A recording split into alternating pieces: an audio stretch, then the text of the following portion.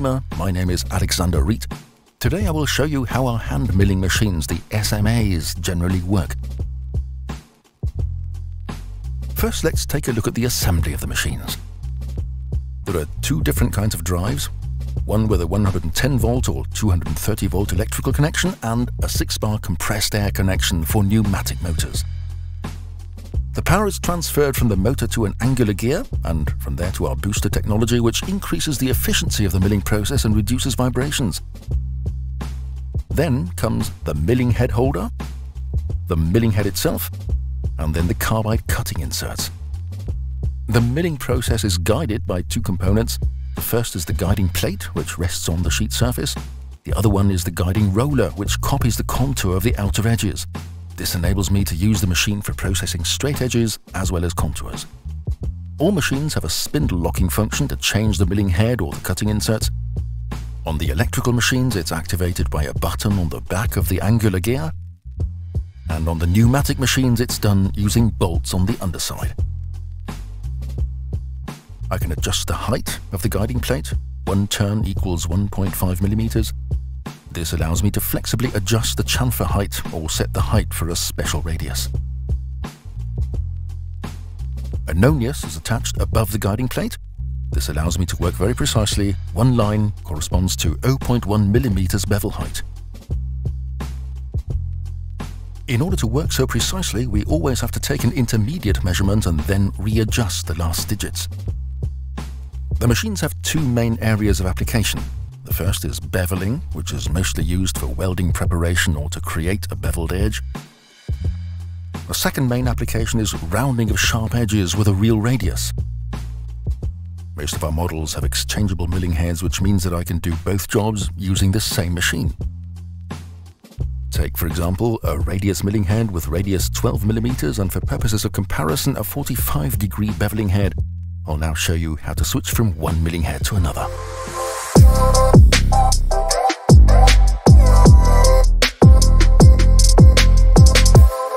To start with, we disassemble the guiding roller using a 5mm Allen key. To do that, I press the locking button on the bottom, unscrew the roller and set it aside.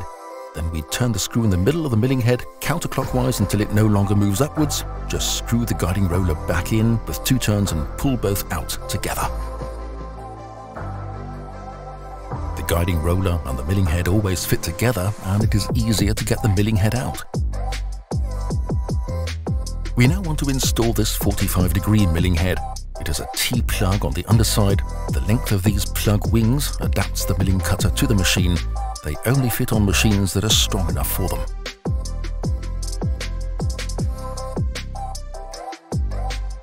I insert the milling head so that it's aligned in the T-slot now we take the 5mm Allen key and turn it tight. Then we test the force of the spring-loaded spindle of our booster package, pressing the spring together two or three times. Then we assemble our guiding roller in the same way and again test the spring force of our spindle two or three times.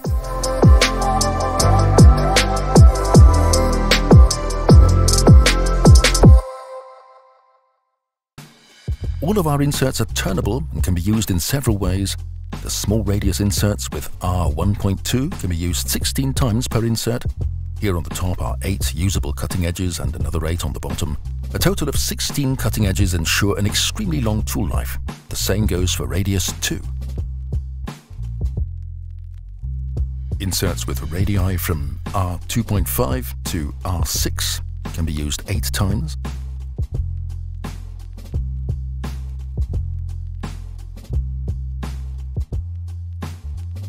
K-plate for beveling can also be used 8 times. Chamfers with up to 8mm chamfer width are possible. On the large machines we use rectangular inserts with an edge length of 20mm. These can be used 4 times.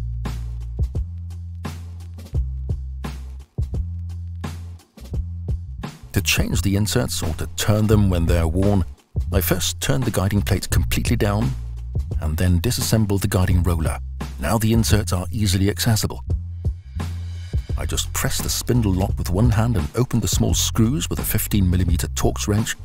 Large cutting inserts have two screws per insert, or only one in each of the smaller machine inserts. I have four cutting edges on this insert, one on the front, one on the back and another two on the bottom. First I turn the plate in the screw axis to use the next sharp edge. And when these two are worn out, I place the screws from the other side into the insert and assemble the unit. It works in that direction. It doesn't take a lot of force to tighten the screws, but you must make sure no screw has been forgotten, which is why I always check two times. Smaller inserts can also be used on the same milling head. This applies to normal K-plates as well as to radius K-plates. Due to the same plate height and width, they have the same plate seat. Now I can mount this K-plate on the same milling cutter or change the application completely and use other radius inserts together with a matching guiding roller this goes for all 45 degree milling cutters, they all have a groove to make a radius up to R6. It's not possible to use radius cutting inserts with all milling heads, it only works with a basic 45 degree milling head. Let's switch to the SMA 40BER now to give you a better idea of how to set up a machine yourself and familiarize yourself with the device. Everybody needs to start with a very small bevel height set this one, look at the guide plate and ensure that the inserts protrude approximately 2 to 3 millimeters from the guiding plate horizontally. We'll not concern ourselves with dimensional accuracy at first, all we want to do is get a feel for the machine and the process. The machine exerts forces against us during the milling process, so we need to get firm footing to guide the machine safely. The workpiece must also be securely attached either on a welding table or a wooden table with sufficient weight Magnetic plates or simple screw clamps are sufficient, but the workpiece must be attached to at least two points, so that it can't twist or shift while we're milling. Basically, you can mill a lot of materials with the machine, everything from copper and aluminium to normal carbon steel, tool steel, and to a limited extent also stainless steel and fine grained steel when using our models with RPM control.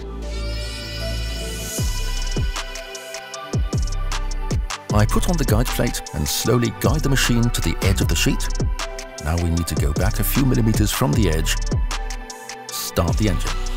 It's very important to make sure the inserts never touch the material when I start the engine, but I should not have too much distance to the workpiece either because now I have to feel my way very slowly to the edge.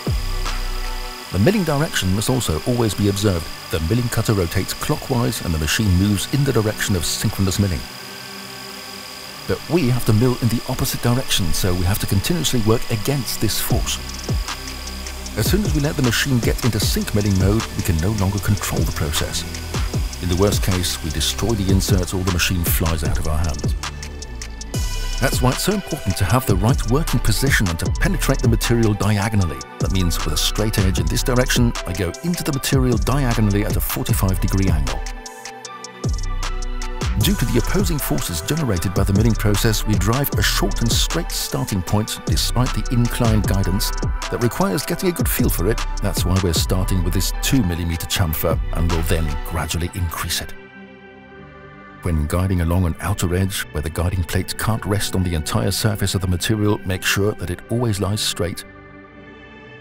If it tilts away, the bevel angle and the bevel dimension will change, I won't destroy the workpiece by doing that, but I will have to mill over it a second time. Both the guiding roller and the guiding plate must be in contact with the material so that the dimension in between is correct. My bevel dimension is defined between the guiding plate and the guiding roller. In order to slowly increase the difficulty, we'll now turn the guiding plate one and a half turns, which amounts to almost 3 millimeters in chamfer height, and then we'll make another milling attempt. Same procedure, we position the guiding plate, go to the edge with the guiding roller, move back a bit and switch on the engine. We're slowly guiding the machine back into the material and now we're already getting significantly greater counterforce. As soon as the guiding roller touches the edge, we can push the machine to increase the feed.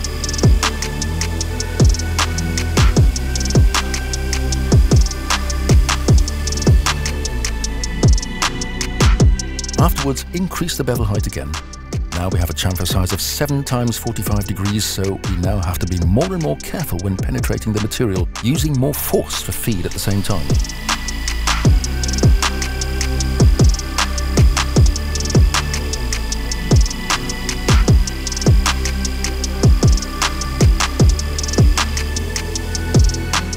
Using the SMA40, this is the maximum bevel size that can be milled in one stroke. To help you internalize the process even more, I'd now like to show you an exercise that everyone should also do before tackling the first production parts according to a drawing. In practice, we've prepared Plasma Cut S355 here. Anyone who works in this field knows how tough the plasma cut edges are after they've hardened. That also makes milling more demanding. After completing the last exercise, we still have a chamfer size of 10 millimeters or 7 times 45 degrees. The hardest thing in the whole process is penetrating the material to the point where the guiding roller comes in contact with the edge. Therefore, we'll now practice this 5 to 10 times in a row. We turn the machine on, dive into the material at 45 degrees as before, and as soon as the roller touches the edge, we move the machine backwards. As soon as I touch the edge with the guiding roller and feel the clear guidance, I go out of the material and do this again a few centimeters further down.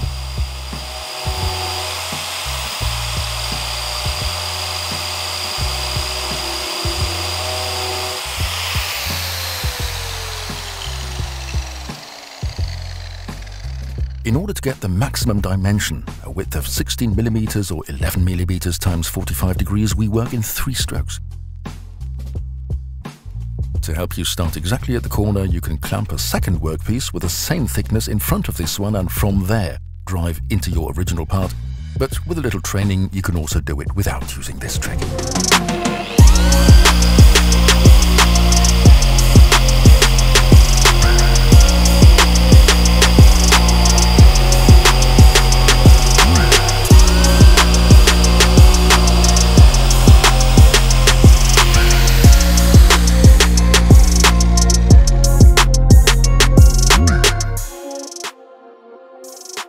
Readjust 2mm more and start again.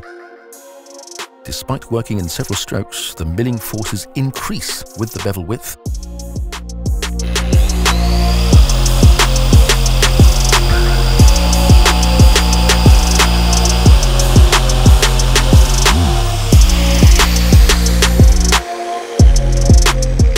And we actually feel this when we push the machine.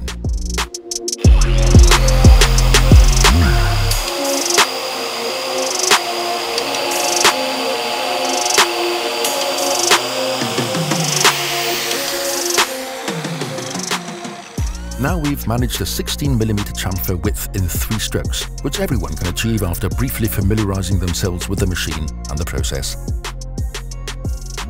To show how to create a bevel according to a drawing, which is our next step, we can take a chamfer of 6 times 45 degrees as an example. First we set the machine's scale at about 5mm. It's 1mm less than what we want to have in the end,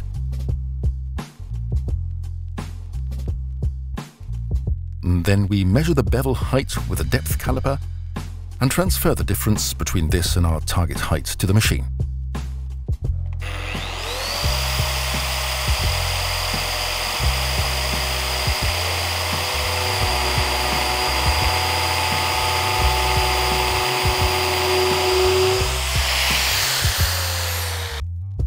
We measure 4.8 millimeters, that means we still need 1.2 millimeters more you see, I wanted to set 5mm, but you almost never get precise results, which is why we need to check our results using a measuring device.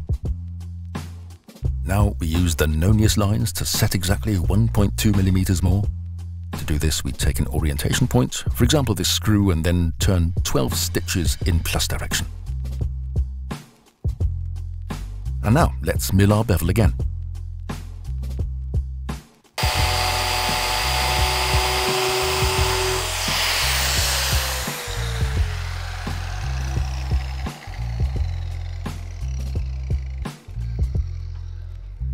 Exactly 6 times 45 degrees is not always necessary to manufacture with such precision, but now you see that you can also work very precisely using a hand milling machine. Our next job is to produce a radius R6 to an edge. I've already changed the milling head for this. We're now working with a 3 cutter using R6 radius inserts. Setting the radius is done using the same principle we employ to produce the precise chamfer, but here it is absolutely necessary do this, we first look over the surface of our guiding plate and adjust it so that the radius in the cutting inserts does not protrude completely. That means that we want to mill a bit less than we ultimately want, as before with the chamfer, and then correct the dimension by increasing it a bit later on. To roll to the edge a few millimeters away, I need to pull the machine towards me so as not to mill in sync. I work in my direction and also penetrate diagonally into the material so that the machine does not kick back.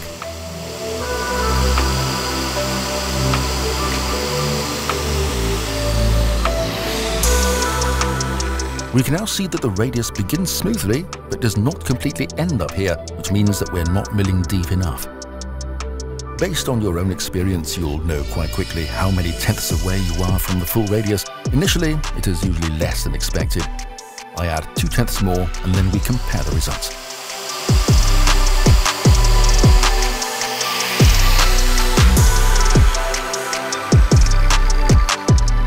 We can see that the radius is nicely rounded and I can finish milling this hole.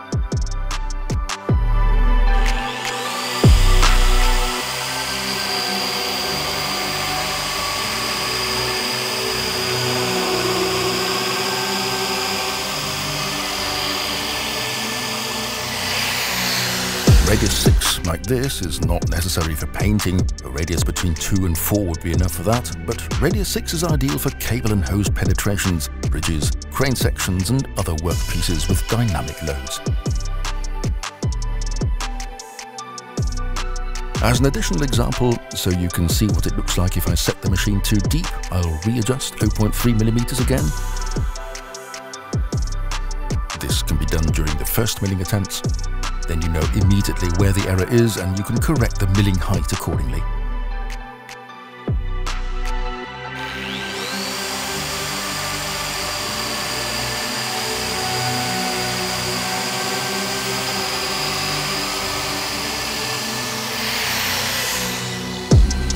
If you look closely, you can already see the step. Otherwise, simply slide over the top of the radius from bottom to top with your fingernail. There's a nice curve at the bottom and a step at the top. We can't bring back the material that we've now taken off, therefore slowly approach the measure and try it out with a test plug. This way you can avoid rejects in production. Okay, thanks for watching. I hope you could learn a bit about our hand milling machines. If you want to watch more videos like this one on SMA or other Gerima products, please give the video a thumbs up. For general information, contact us by email or phone. We look forward to helping you with all your beveling needs.